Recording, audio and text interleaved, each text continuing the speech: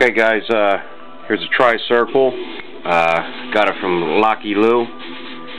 And uh, here's a key for it. So, one, two, three, four pin lock. And we're going to try to single pin pick it here today.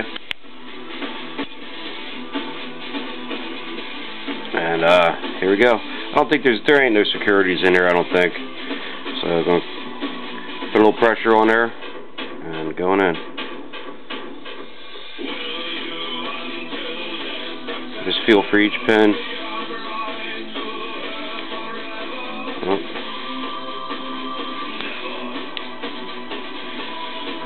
Go back in again and hit them over again.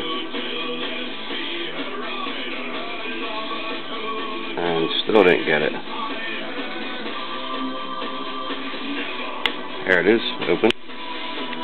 And uh, that's Tri-Circle uh, 264, uh, courtesy of uh, Lockylew. Check out his videos. He's got some good ones on there. And uh, that's it. See you later. Have fun.